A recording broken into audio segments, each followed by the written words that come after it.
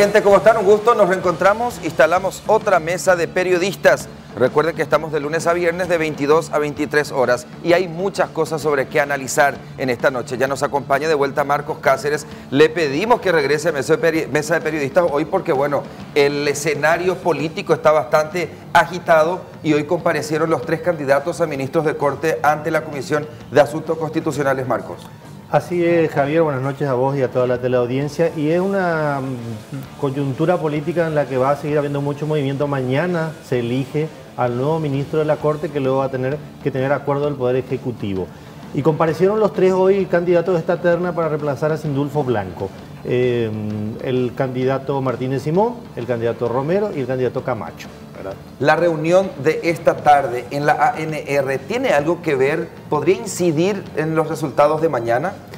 Eh, puede reforzar un poco. El resultado ya estaba cantado. Yo ayer te decía, te adelantaba quién eh, sería el candidato. Eso no cambió. El candidato elegido, eh, Alberto Martínez Simón, es el que tiene mayores posibilidades de ser elegido mañana. Pero esta, esta reunión que hubo hoy en el Partido Colorado forma parte de un acuerdo un poco mayor y tiene que ver con la gobernabilidad de Mariano Benítez, que necesita que tranquilidad en este momento de una crisis social muy grande. El tema de las inundaciones está golpeando muy fuerte. El Ejecutivo necesita un poquito de paz, más que nada contener los ánimos. Tiene más que ver con eso y con un acuerdo general que va en el Partido Colorado por lo que se viene, las mesas directivas, las elecciones en Ciudad del Este, varias cosas en las que el Ejecutivo y te pregunto directo esto, Marco. Sí. Esto, esta reunión, esta unidad, implica que tengan que mirar un eventual juramento de Horacio Cartes como senador? No, eso no está, no está en, los planes. Hasta por ahora, por lo menos, eso va a quedar así.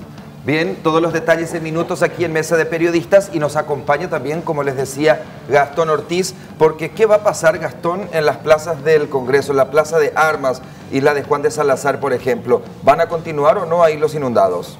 Buenas noches, Javier. Un saludo para Marcos y para toda la audiencia. Un panorama bastante difícil para la municipalidad de Asunción porque eh, el plan es que mañana empiecen a ser reubicados los damnificados en la zona del Parque Caballero, aunque hay cierta oposición. Esto debido a que se instalaron en la Plaza Salazar, por ejemplo, con la autorización de funcionarios municipales. Luego las autoridades de la comuna se desdijeron y presentaron una denuncia. La fiscalía ya salió a hablar, prácticamente desestimó el caso, dicen que no es invasión y ahora se les plantea reubicarse en el Parque Caballero y si no lo hacen, ya se dio a entender que se buscarían mecanismos eh, civiles. Un desalojo ya se estaba escuchando hoy en la dirección jurídica de la municipalidad y esto asustó a los pobladores. Hoy el intendente ya se acercó en horas de la tarde noche para tratar de mediar y que de forma pacífica sean reubicados en el albergue que se está montando en el Parque Caballero. Que a propósito, Gastón Ortiz es la primera vez que está con nosotros aquí en Mesa de Periodistas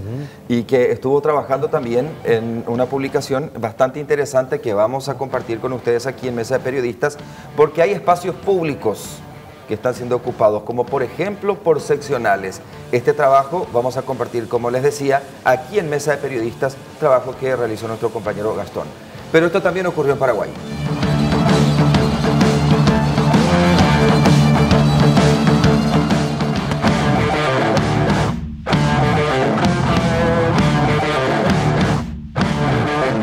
Proyecto de ley que plantea la eliminación de la elección de los parlamentarios del sur fue al archivo. La idea era ahorrar unos 23 mil millones de guaraníes anuales que el Estado destina a los parlasurianos y dar la representación del parlasur a los diputados y senadores. En sesión extraordinaria, el diputado Justo Zacarías mocionó rechazar el proyecto, propuesta que fue acompañada por la mayoría.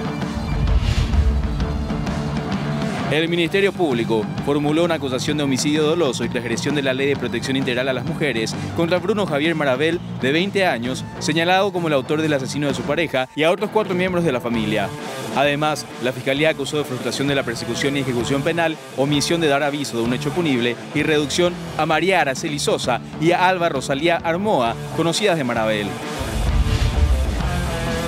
La Junta Municipal aprobó la petición a Mario Ferreiro de mostrar el dictamen escondido que ordenaba la demolición de las casillas construidas sobre Quinta Avenida. Además, este no sería el único documento, ya que el mismo forma parte de una lista de solicitudes de información que se aprobó como un dictamen. También pidieron la copia de los contratos celebrados con los permisionarios de las 16 casillas.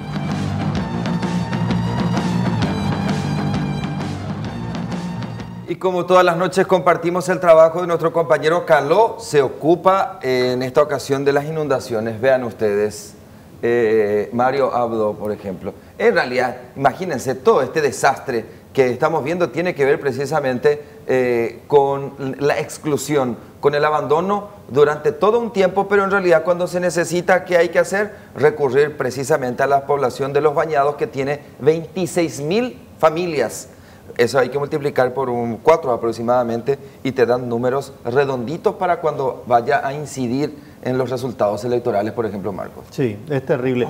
Eh, vos sabés que recién lo estaba escuchando a Gastón, este drama que sufren este, la, gente que, eh, está, siendo desplazada en las plazas y yo hablando de pactos políticos, ¿verdad? Es como que... Qué irónico, ¿verdad? Eh, qué, irónico, qué terrible que la gente, en vez de juntarse, los colorados, los liberales también hoy se juntaron con el Contralor General de la República. Porque hay que salvarlo. Hay que salvarlo, hay que salvarlo. Y todos estos pactos se hacen en medio de esta crisis social, en vez de reunirse ellos para tratar de aportar soluciones y alguna salida a esta crisis, ¿verdad? Es muy triste.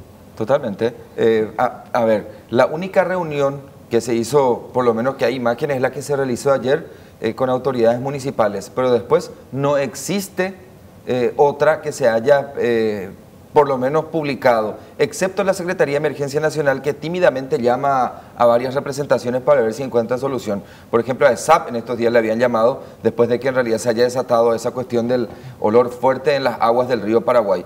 Pero es cierto lo que decís, Marco, qué fantástico hubiera sido que haya un pacto para resolver estos problemas de exclusión. Sí, es, cierto, porque acá el Parlamento se supone que es la representación del pueblo. Ahí este, estamos a metros aparte del drama, porque vos sabés que frente a la plaza ya están todas ocupadas. Eh, eh, las que están frente al Parlamento, donde los, este, digamos, los parlamentarios no tienen que irse al interior para ver el drama que está sufriendo esta gente y no, no, se, no se habla nada. Hoy, ¿verdad? Yo en el Parlamento prácticamente no escuché... Están ocupados en otras cosas. Están ocupados en los pactos políticos, en los acuerdos, a la gente que hay que salvar y en los futuras, las futuras elecciones que hay que ganar. La única reunión política, por así decirlo, política que se dio fue meses atrás, eh, donde participó el presidente Mario Abdo Benítez y representantes de la Iglesia Católica, de la Pastoral. Ahí sí se habían comprometido y habían eh, presentado planes para accionar, para tratar de frenar la problemática, teniendo en cuenta que el 30% de la población asuncena vive en los, en los bañados. Había hablado de inversiones, de trabajos con la Senalidad. Eso fue antes de esta subida repentina del río. Fue, fue antes de la subida repentina, pero cuando ya se empezaban a dar. Esta es la cuarta crecida que se da en menos de, un año. Es decir, el gobierno estaba al tanto de, de esta situación y se había anunciado que buscarían mecanismos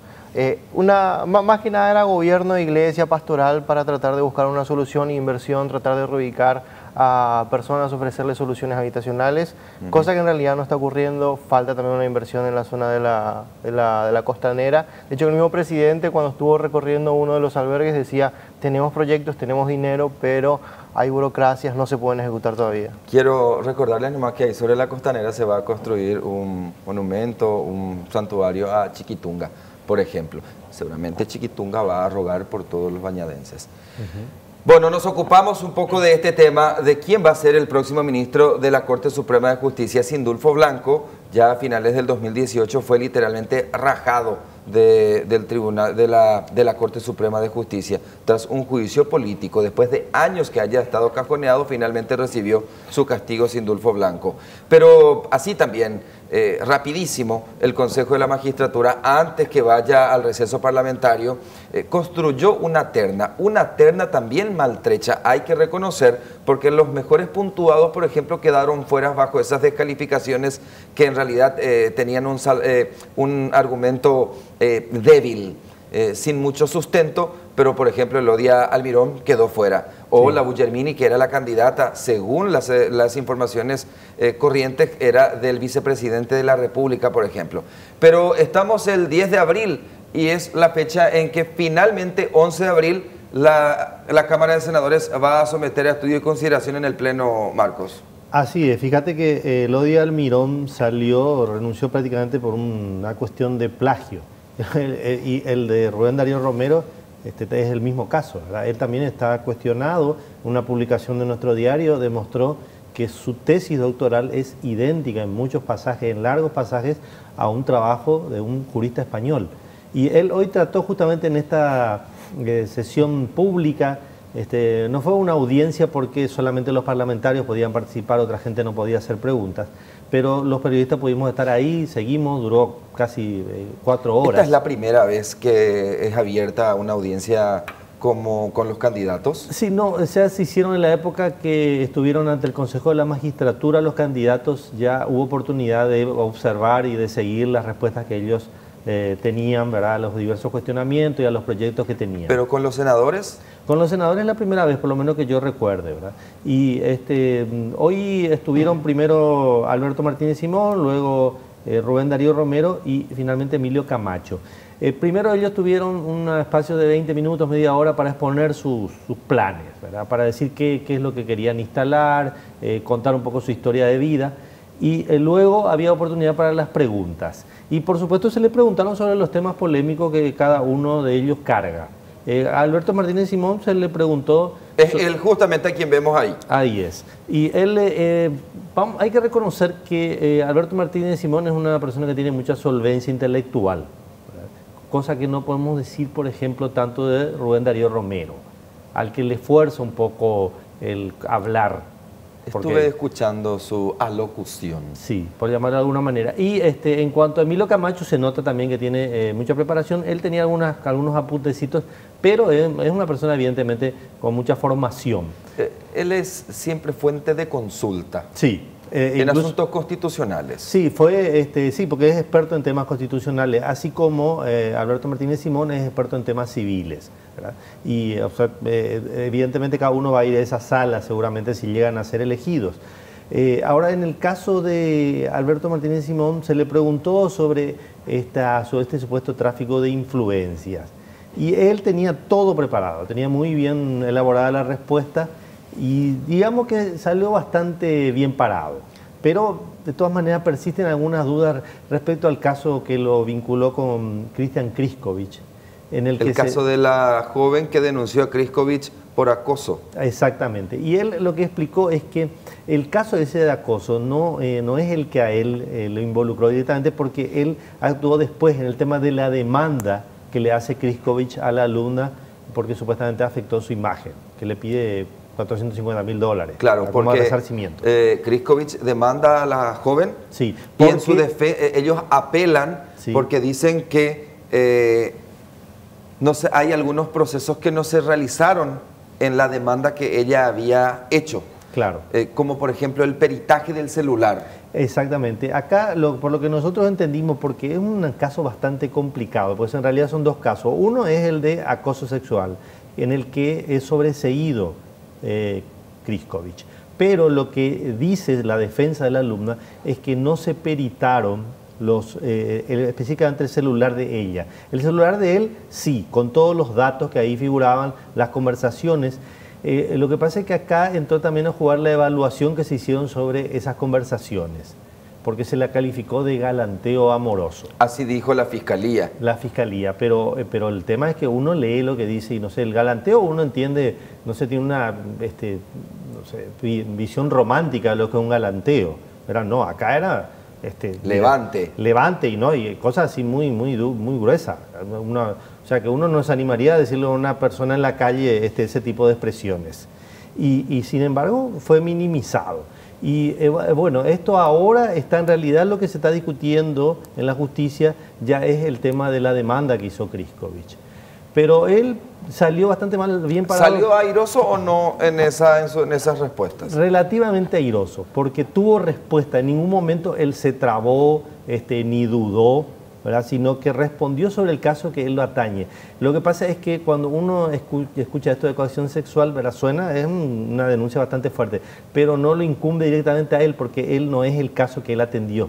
Claro. es en, todo caso el que está cuestionado. Está involucrado. Sí, y este, realmente respondió a todas las preguntas. Después eh, Rubén Darío Romero, no. Él, él este, estuvo muy dubitativo. Espera, que antes de pasar a Romero, le preguntaron a Martínez Simón sobre la época en que él trabajaba en el estudio jurídico Prono. Sí. Y este estudio jurídico atiende, o sea, le tiene como cliente al Grupo Cartes. Sí, al Grupo Cartes lo que él decía es que eh, cuando comenzó su carrera, como después de recibirse de abogado, fue asesor jurídico ¿verdad? y directamente atendía los casos vinculados a los bancos, porque este estudio PRONO trabaja con eh, instituciones corporativas como los bancos. Y él dijo que nunca fue eh, directamente abogado de Cartes y él afirmó que ni siquiera se reunió con Horacio Cartes en ninguna oportunidad. Y bueno, es su palabra, ¿verdad? Y lo que, lo que él dice es que em, él hizo, hacía recomendaciones, hacía trámites casi, casi administrativos, dictámenes, ¿verdad? Sobre el tema cuando los bancos tenían algún conflicto, el tema para, para dar crédito, por ejemplo. Eh, o sea que él dijo que su vinculación no era directa con Horacio Cartes ni nunca conversó con él para, para nada. ¿verdad? Escuchamos en esta primera parte lo que decía eh, Alberto Martínez Simón ante los senadores. Yo trabajaba para un estudio jurídico que le atendía uno a sus empresas, que era el Banco Mumbai. Eh, y en eso trabajé durante 10 años, en eso y en la atención de todos los clientes del banco. Ahí está. Claro, ahí está. Él, dice, era, era, un cliente más el Banco Mumbai, ¿verdad? No era eh, el cliente.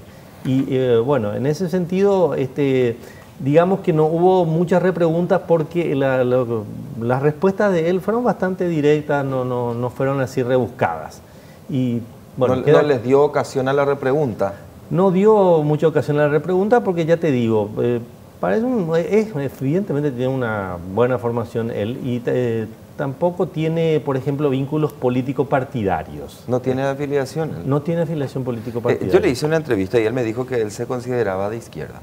Sí, vos sabés que él hoy le preguntó, este, Paraguayo Cuba hizo esa pregunta a todos, a los tres. Bueno, a, Emilio Camacho no le, no le, preguntó por obvias razones, ¿verdad?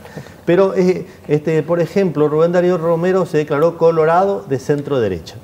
Eh, escuché. Sí. Yo seguí la transmisión vía Facebook de... ¿Qué, me ibas a decir, Gastón? No, Marcos, con relación al caso de Kriskovic, tal vez el, cuestionamiento no es si prevaricó o no con relación a la resolución, sino que benefició a Kriskovic en un juicio donde Kriskovic era su juez, o sea, donde era uno de los consejeros que tenía que definir la terna. Tenía que votar para ver si él, formaba o no la terna. Él, así es. Eh, Martínez Simón vota, es el preopinante, saca la resolución días antes de que él sea eh, electo como integrante de la terna. Entonces, no es si prevaricó, simplemente que benefició a Kriskovic. Sí, y, Kriskovic, lo, le pagó. Lo, que él dice respecto a eso, ¿sabes qué es Gastón y Javier? Que él, él ya había sido miembro de una, o sea, integrante de una terna. Quiere decir que tenía el puntaje, no necesitaba de ninguna ayuda. Y por otro lado, él dice, dice. era uno de los miembros del Consejo. De ocho. De ocho.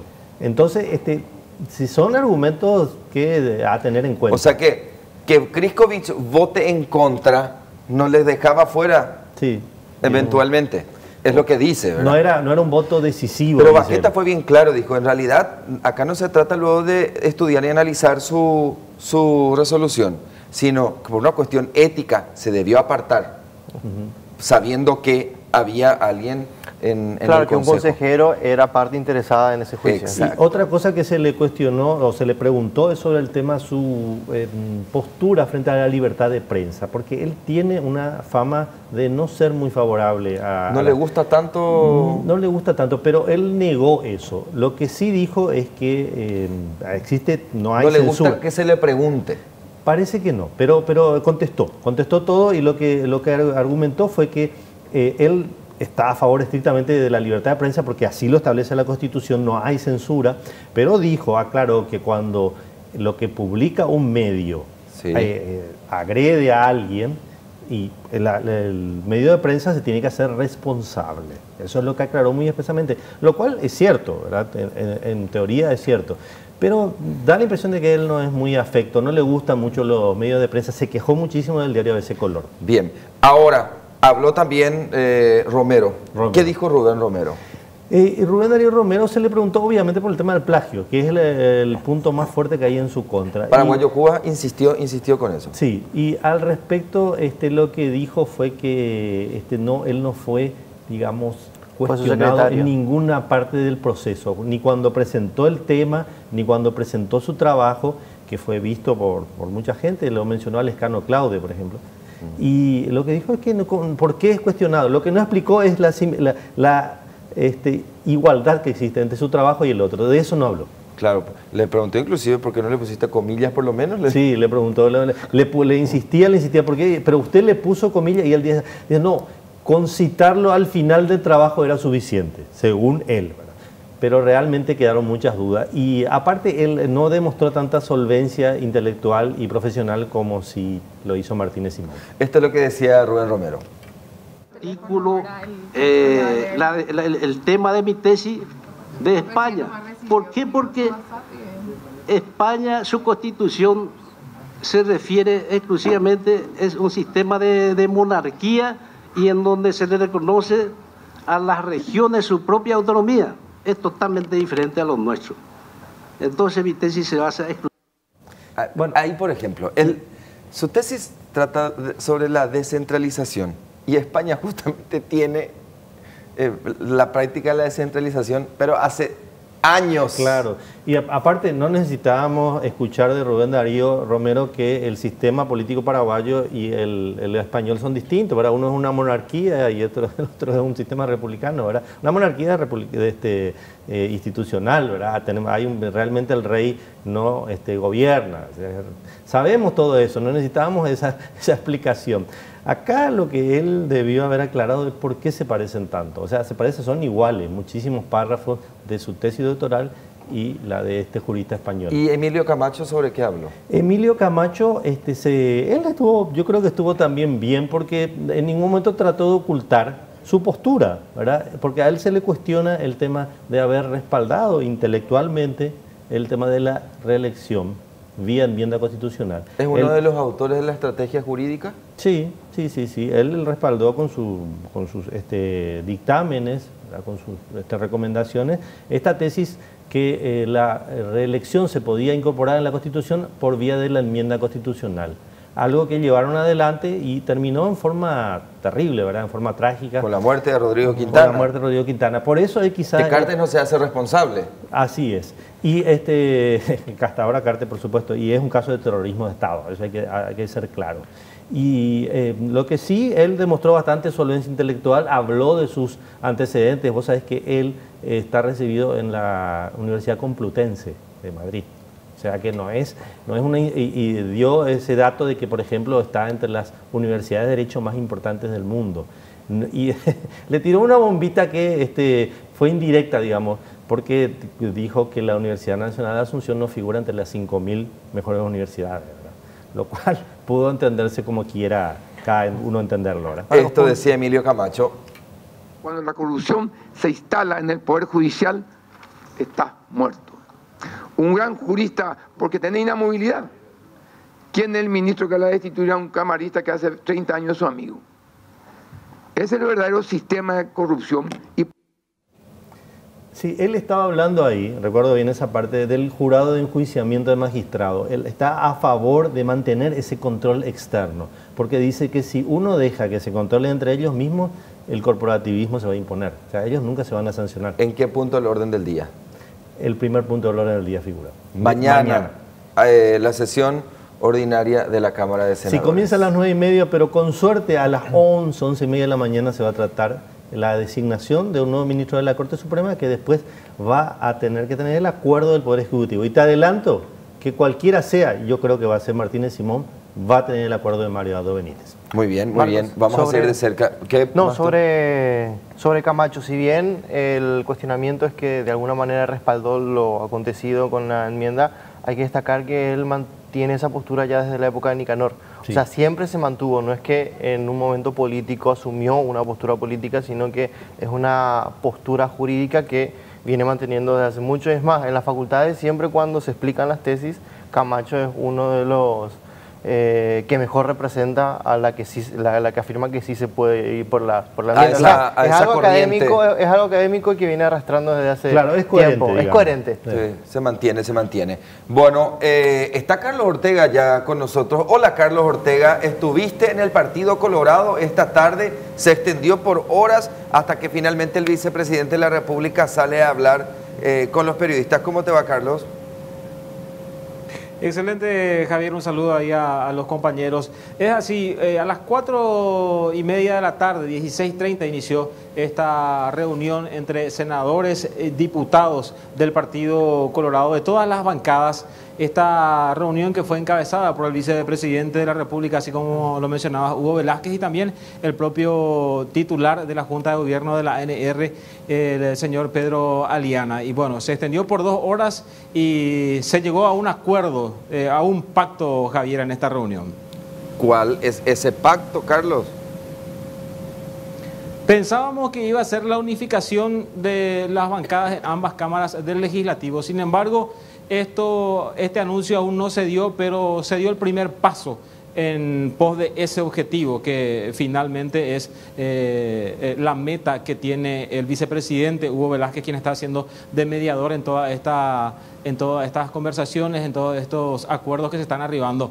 El acuerdo al que se arribó hoy es consensuar, llegar a un acuerdo entre todas las bancadas cuando del Ejecutivo vienen proyectos o cuando al Ejecutivo le interesan temas como el ministro de la Corte, como el juicio al Contralor, para que la decisión que tomen las bancadas coloradas sea consensuada y se tenga eh, una sola decisión, una decisión unilateral en el sentido de que vayan a las sesiones ya con una postura definida eh, en lo que hace al Partido Colorado, no de manera dividida.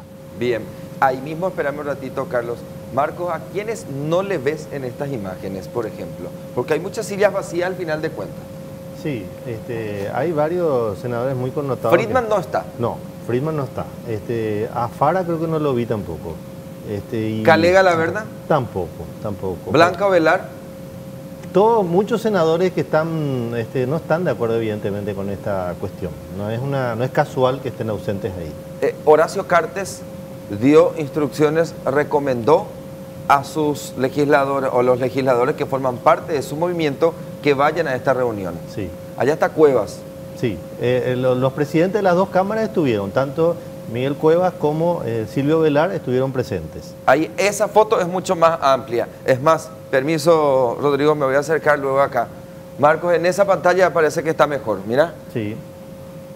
Acá en el video también. Sí, ahí, eh, no están todos. Evidentemente hay, hay senadores y diputados este, que uno no le extraña mucho que estén ahí, porque son gente que está más propensa, incluso de gente como Baqueta. Baqueta está, anda bien con los dos sectores, por ejemplo, no, es extraño que esté él ahí. Y hay otros que tienen necesidades políticas. Eh, de, estar. Miguel Cueva necesita protección en este momento porque está muy cuestionado en su gestión en la Cámara de Diputados. Y este, los que no están, evidentemente, son senadores que eh, no, no le pasarían la mano públicamente a la gente del sector cartista, como Rodolfo Friedman. ¿A quiénes, este. por ejemplo, no le ves vos? De diputados y de... ahí lo que falta son varios de Añetete, en realidad. a eso quiero llegar. Sí. En realidad son los de Añetete los que están faltando acá. Sí, y tiene, tiene que ver también con esta postura, yo lo escuchaba atentamente a Carlos, y él decía este, que, que, bueno, uno de los objetivos es que lleguen juntos cuando hay decisiones como por ejemplo para nombrar al ministro de la Corte. Y vos te acordás que ayer, cuando salió Baqueta a decir el resultado de la reunión con Mario Benítez de la bancada oficialista, que dijo? Se liberan los votos. o sea que justo al revés, si hay que intentan unificar una postura, em, eh, eh, lo que hicieron ayer fue lo contrario, después de reunirse en Brubicharoga. Van a salir cada Marcos, con este, con, este punto. Ojo con este punto porque el propio Baqueta ayer, eh, después de anunciar eso que bien puntualizabas, la liberación de votos, decía, el jueves antes de la sesión ordinaria vamos a tener una última reunión donde vamos a buscar el consenso para llegar a la sesión con una postura definida en lo que hace a la elección del ministro de la Corte. Sí, y, esa reunión se va a dar mañana. Sí, sí, eh, esto se puede vincular. Este, creo que eh, justamente estuvieron atentos a lo que pasaba hoy en la exposición que tuvieron los candidatos de la terna. Y eh, estaban un poco pendientes de cómo se desenvolvía Martínez Simón. Y el hecho de que él haya salido, entre comillas, airoso, puede hacer, puede hacer que mañana haya una postura en bloque de la bancada oficialista a favor de él. Coste que hay senadoras y senadores eh, que están a favor de Romero. Por ejemplo. por ejemplo, Lilian Samaniego. Lilian Samaniego, Baqueta, dijeron, ellos son los que eventualmente podrían cambiar de postura y decir, en pos de la unidad, bueno, todos apoyamos a Martínez Simón, que es el que tiene mayoría en la bancada. Pero no fueron solamente los colorados quienes tuvieron su apartado. Los liberales también tuvieron un apartado esta tarde, Carlos Ortega. Y eso que tomamos por eh, sorpresa, eh, porque fue una reunión secreta esta que se dio en la vivienda de la senadora Zulma Gómez, ubicada allí sobre Curupactí 25 de mayo, en pleno centro de nuestra capital. Se lo vio a un funcionario de la Contraloría General de la República por ese edificio donde reside la parlamentaria del PLRA él aseguraba que era una cuestión fortuita su presencia en ese lugar, sin embargo, después se pudo confirmar la presencia, además de la dueña de casa, Zulma Gómez, la presencia de los senadores Blas Lanzoni y también de Dionisio Amarilla, los tres del llanismo que recordemos eh, también tienen una suerte de acuerdo o están afín a lo que es el cartismo. Pero bueno, eh, dejando un poco de lado eh, a qué sector responden, se reunieron con el Contralor General de la República cuyo juicio político está pendiente. Recordemos que él está imputado y acusado por mal desempeño de sus funciones, Javier. Estas son imágenes eh, que rescató nuestra compañera Antonella, estuvo de cobertura por edición impresa y pudo lograr. ¿Quién es el de la camioneta, Dionisio? ¿O es el contralor mismo? En la, en la camioneta salieron, eh, según eh, justamente el reporte de nuestra compañera, el Dionisio Amarilla y el Contralor General de la República. La eh, esposa de Dionisio Amarilla trabaja en la Contraloría. Exactamente. Eh, se negó la presencia del Contralor General de la República en ese lugar, pero antes que suban a esa camioneta, los compañeros, los colegas pudieron divisar y se confirma la presencia del doctor García en esa reunión, Javier. Casi lo llevan por delante a Luis López, nuestro compañero de ABCTV. Hay varios testigos y te doy una, Y atención, atención con esto.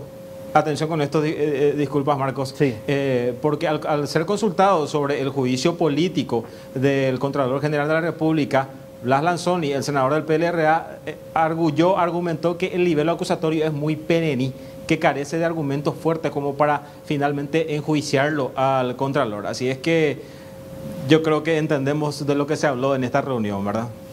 Y me pasaron un dato que les cuento, esto es una, una primicia. Una, una fuente este, del PLRA me dijo que en esta reunión además hubo algunos intendentes de Alto Paraná y que esto habría sido un apriete, entre comillas, de la Contraloría a estos intendentes por cuestiones de la interna, léase intendentes liberales. Y tiene que ver con la interna que ya se está empezando a, a, avanzar, está empezando a tomar A ver, espera, te voy a simplificar, Marco. Lo que probablemente haya ocurrido entonces es, estos intendentes estuvieron ahí porque necesitan algún tipo de protección, es decir, que Contraloría no les caiga con todo el peso y después termine llevando o enviando los casos al Ministerio Público. Así es. Y vos sabes que otro, eh, otro dato importante es que si ellos pueden hacer este tipo de aprietes es porque están muy seguros que no hay votos para destituir al Contralor.